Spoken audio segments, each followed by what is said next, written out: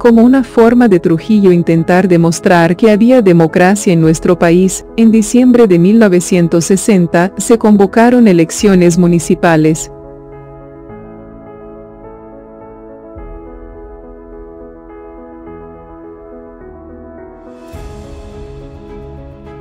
Trujillo participó como candidato ganador a la gobernación de Santiago por el Partido Nacionalista.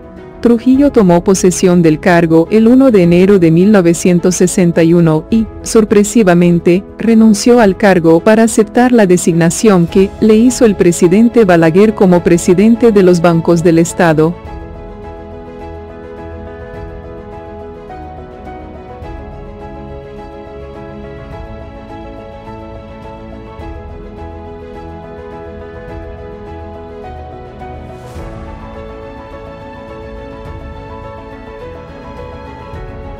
Con esta designación, Trujillo sería el encargado de negociar la política monetaria y bancaria del país y regular las actividades en general de los bancos.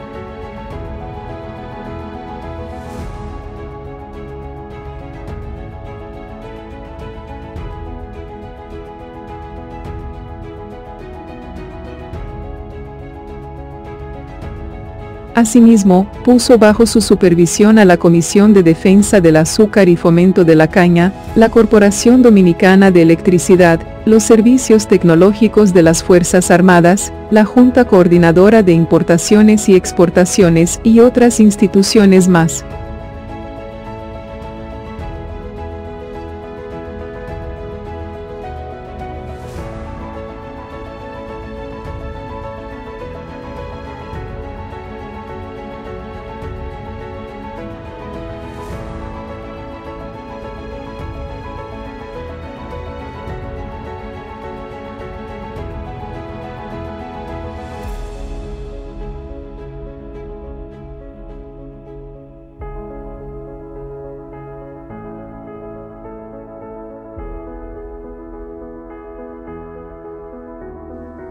Es de suponerse que al momento de su ajusticiamiento, el 30 de mayo de 1961, Trujillo todavía desempeñaba todas estas funciones.